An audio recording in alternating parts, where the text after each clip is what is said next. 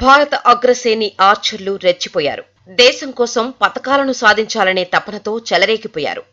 తమలో ఉన్న ప్రతిభను మొత్తంగా చూపించి దుమ్ము లేపారు.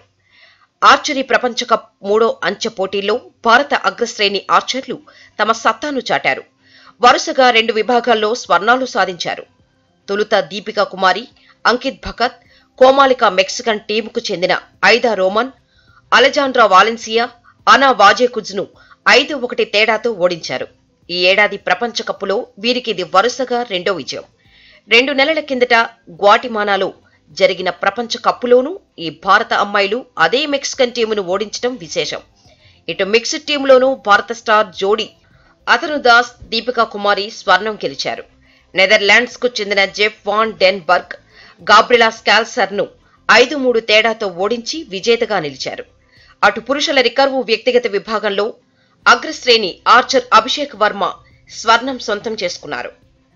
అమెరికాకు చెందిన క్రిస్ షాఫ్ను షూటాఫ్లో ఓడించి విజేతగా నిలిచాడు. దాంతో ఈ ప్రపంచ కప్లో భారత్ మొత్తం మూడు విభాగాల్లో స్వర్ణాలు సాధించడంతో ఆర్చర్ ఆటగాళ్ళ ఉత్సాహం పెల్లుబికింది